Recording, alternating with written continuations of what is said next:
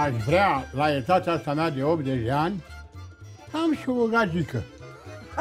Să fie muză, să te inspire, cum Atâta, ar veni, atâta. nu? Să te inspire. De dragoste. Că despre asta e vorba, să te inspire. De dragoste, de prietenie.